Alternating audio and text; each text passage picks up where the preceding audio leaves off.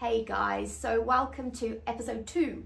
Episode two. Two. Episode two of Wheelie Great Stories. So today we're going to read another great book to you. It is called Same, Same or Different by Roopa Pai. Um, and let's give this a go, shall we? Here we go. Mama put Sparrow's lunchbox into her school bag and folded her wings around her. Have a good day, darling, she said. Pay attention and be polite. Oh, Mum, laughed Sparrow. You say that every day. And remember, said Mama, stay away from Snake. He's different. Sparrow wished Mama hadn't said that. Snake was her best friend, but Mama didn't approve of Snake. His people eat our people, she always said. Sparrows and snakes can never be friends. On the other side of town, Snake's papa was packing his lunchbox with birds' eggs. Today's special, son, he said proudly. But I hate eggs, papa, groaned Snake. We've always eaten them in this family, said Papa sternly. Now off you go, and remember, stay away from Sparrow. Snake slithered away, feeling angry. Sparrows are different, Papa called after him. You can't be friends with your food. Man. When Snake met Sparrow at school, they knew. Your mama said? asked Snake. When Snake met Sparrow at school, they knew. Your mama said? said Snake. Sparrow nodded. Your papa too? Snake nodded. Our parents are wrong, Sparrow said. Uh, our parents are wrong, Sparrow, said Snake. Let's show them that we are more same same than different. Great idea, said Sparrow. Let's. She pulled out a sheet of paper and drew two circles on it like this. Uh, in the yellow part of the left circle, said Sparrow, we put down just Sparrow things. In the blue part of the right circle, just snake things.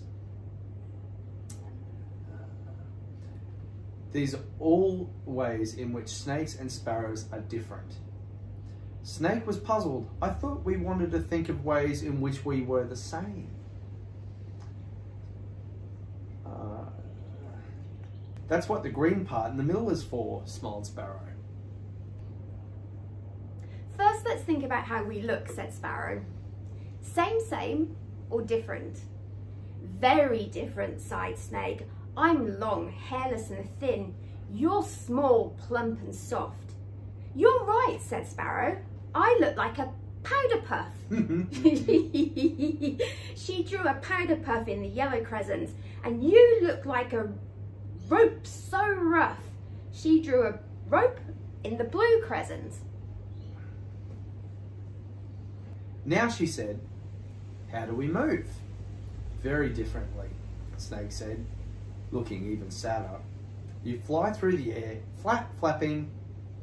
I slither along the ground, zigzagging. In other words, said Sparrow, I move like a plane and you move like a train. that sounds fun. Snake sighed. Cheer up, Snake, said Sparrow briskly. Let's see now, what do we eat? Very different things. Snake's eyes filled with tears. But I don't eat birds' eggs. I know, said Sparrow soothingly. But now she looked glum too. Seeds and grass, she muttered as she drew them in the yellow crescent. Frogs and rats, she sputtered and drew them in the blue crescent.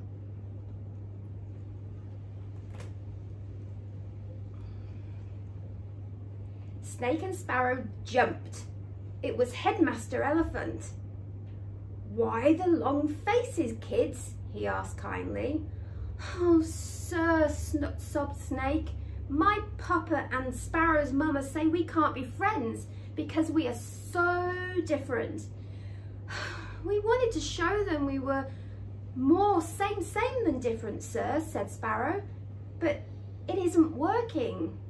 Headmaster Elephant looked at the circles a long time, then he began to laugh.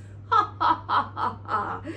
Snake and Sparrow stared at him. What was so funny? Don't you see, kids? He said finally, wiping his tears. You are doing this all wrong. Let me help you. Headmaster Elephant settled down on the bench.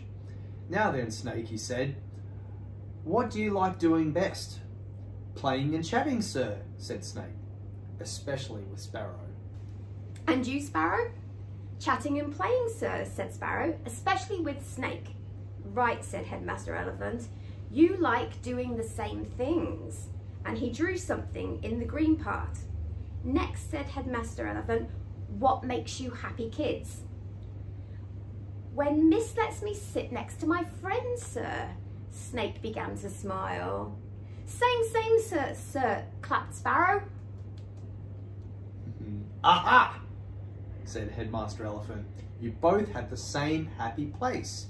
Green. All right, what makes you sad? Snake and Sparrow. That Papa says I should stay away from Sparrow, sir, sighed Snake. That Mama says I should stay away from Snake, sir, sighed Sparrow. Headmaster Elephant frowned. You're both sad, he said, for the same reason. Your parents don't let you choose your friends. Green again. Now then, said Headmaster Elephant, who do you think is the best kind of friend?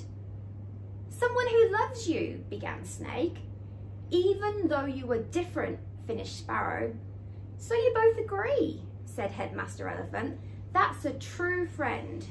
Loves you no matter what. That makes four same sames and only three difference. Same sames win. Hooray, said Snake and Sparrow. Thank you, Headmaster Elephant. Uh, one last thing. Yes, sir? Tell your parents I want to see them in my office, first thing tomorrow morning. And Headmaster Elephant marched away looking fierce indeed.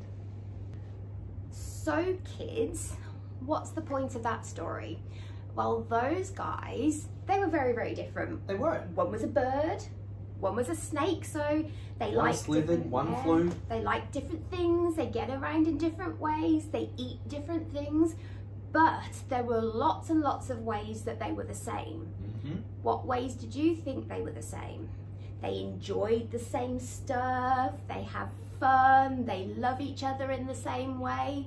So there's always a reason even if somebody seems a little bit different to you, mm-hmm. to take the time to go and speak to them and make friends with them because we're all human, we're all the same. It doesn't matter how you look, what's going on in your life, what colour your skin is, who your mum and dad are, or even if you don't have a mum or you don't have a dad, it doesn't matter. We're all the same. Exactly right. So, there's a little exercise here that was at the end of this book and I'm just going to take you through it because it might be really, really, really cool for you guys to do. So the first bit says, um, think about the many ways in which you can sort and group toy animals. You can sort them according to their colour, blue animals in one circle and yellow in another. You can sort them according to their size, small in one mm-hmm. circle and big in another, or according to how they move. Animals that walk, animals that fly, maybe animals that use two legs and animals mm-hmm. that use four legs. Would the groups be different each time? Why don't you guys try it and see? Because I reckon you could come up with lots of different ways that you can group them into two different groups. But then at the end, they're all animals. They're all the same. Absolutely. We're the same as everybody else around exactly us, right. guys. Anyway, I really enjoyed reading that story to you. Did, you? did I? Yeah. Absolutely, it was great. Great fun. We will be back again very, very, very, very shortly with another really great story. But until then, see you next time, guys. Bye.